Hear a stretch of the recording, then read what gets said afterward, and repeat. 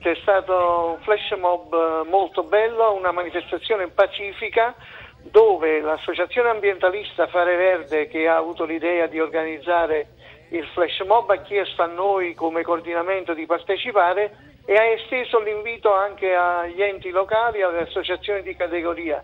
E quindi stamattina tutti alle ore 11 ci siamo trovati in via Portoni Bandissolo dove dovrebbe sorgere questo grande impianto da 60.000 tonnellate di fanghi eh, più 18.000 tonnellate di reagenti per un totale di 78.000 tonnellate annue e la circolazione di ben 5.000 camion all'anno. Cambierebbe praticamente la vita a chi abita nel raggio di 1000 metri perché nel raggio di 1000 metri abitano ben 25 famiglie.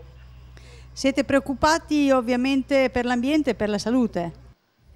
Siamo preoccupati principalmente sì, per la salute pubblica e, e per l'ambiente, per i nostri campi. Noi abbiamo 44 eccellenze eh, sul territorio dell'Emilia Romagna, IGP, DOP e, e, e anche piantagioni eh, bio, quindi noi siamo molto preoccupati dello spandimento su, che possa avvenire su questi territori, anche perché vedendo quello che è successo in Lomellina eh, abbiamo contatti con dei tecnici sopra il Lomellina e lì eh, c'è stato un po' eh, di sversamento eh, di fanghi che poi eh, ha bloccato 164 comuni eh, per quattro anni non possono più spandere. Vi appellate alla Regione e al Governo, è così?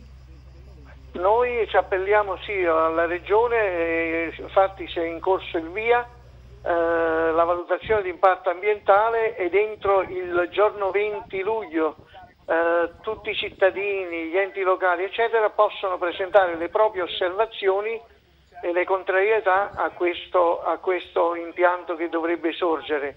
Noi abbiamo già pronte le nostre e entro il 20 le, le manderemo. Anche Lego Ambiente ha presentato e presenterà le sue osservazioni, non ci fermeremo davanti a questo impianto stiamo raccogliendo uh, altre firme, un'altra petizione. Nella prima petizione abbiamo raccolto 1200 firme, adesso abbiamo già superato le 500 firme, ma non ci fermeremo, andremo avanti con questa raccolta firme. C'è un prossimo appuntamento il 13 luglio, questa volta a Ostellato. Siamo in sala consiliare del comune di Ostellato e spiegheremo ai cittadini l'impianto che dovrebbe sorgere le caratteristiche e tutte le cose annesse e connesse a questo impianto sul territorio.